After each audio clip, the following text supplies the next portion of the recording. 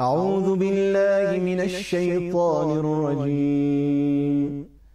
بسم الله الرحمن الرحيم. أفرأيتم ما تحرثون؟ أأنتم تزرعونه أم نحن الزارعون؟ لو نشاء لجعلناه حطاما فظلتم تفكهون. إنا لمغرمون بل نحن محرومون. صدق الله العلي العظيم.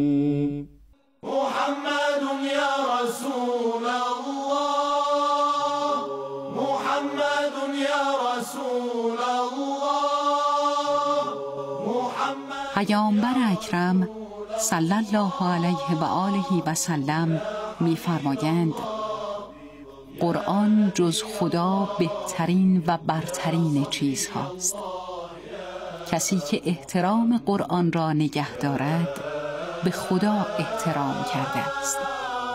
و کسی که حرمت قرآن را نگه ندارد نسبت به خدا بی حرمتی کرده است. احترام به قرآن در پیشگاه الهی همانند احترام پدر بر فرزند است.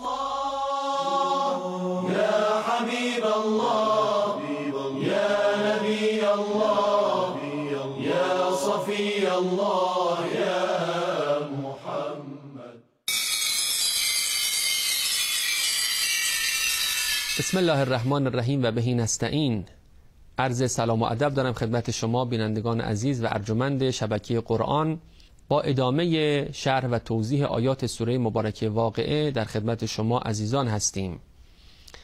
خداوند متعال در این بخش های پایانی سوره مبارکه واقعه به بیان براهین و ادله و نکاتی که قیامت رو برای انسان باورش رو آسان تر می‌کنه می‌پردازه و یکی از اون نکات توجه دادن ما به عالم اطرافمون هست. در آیه 63 خداوند متعال ما را به زراعت و کشت و زرعی که در اطرافمون هست متنبه می‌کنه. در فصل بهار شنیدن این آیات خالی از لطف نیست. افرأیتم ما تحرثون؟ آیا دیدید آنچه را که میکارید؟ اانتم تزرعونه ام نحن الزارعون؟ آیا شما آن را میرویانید؟ یا ما هستیم که این دانه را میرویانیم؟ ما انسان ها در پدید آمدن یک مزرعه سرسبز و خرم چه نقشی داریم؟ فقط و فقط نقش ما این است که دانه ای را درون زمین میکاریم و به اون آب میدیم. اما اینکه چه اتفاقی میفته؟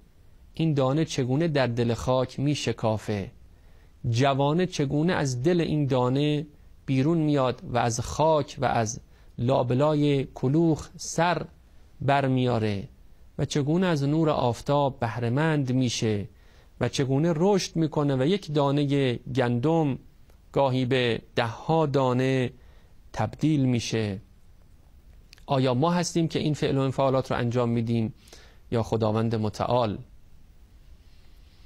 در یک روایت نورانی از پیامبر گرامی اسلام نقل شده فرمود لا یقولن احدکم زرعت ولیقل حرثت شما نگید ما گندم رویانیدیم. بگید ما گندم کاشتیم.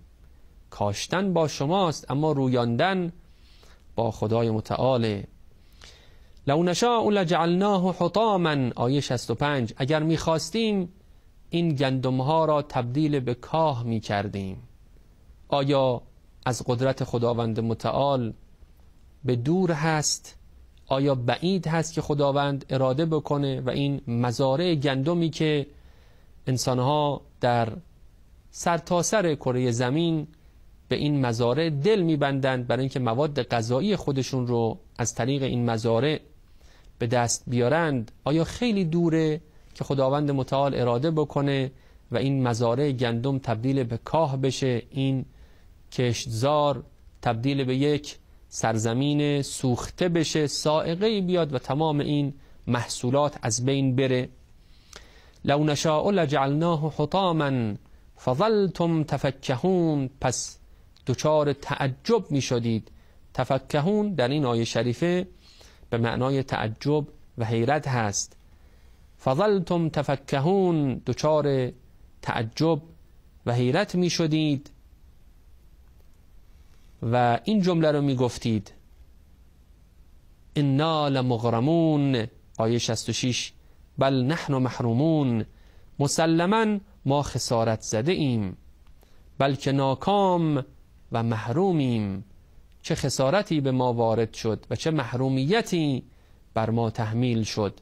خداوند می توانست شما را خسارت زده و محروم از این نعمت ها بکنه.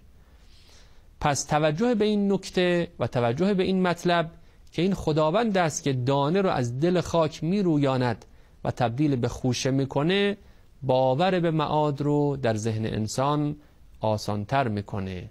همون خدایی که می‌تواند از دل یک دانه که درون خاک قرار گرفته دانه های متعدد رو شکوفا بکنه اون خدا می‌تواند انسانی را که درون خاک قرار گرفته در روز قیامت زنده بکنه و برای حساب کتاب حاضر بگردانه. همه شما عزیزان رو به خدای بزرگ می سپارم. خدا نگهدار. إلهي يا إلهي يا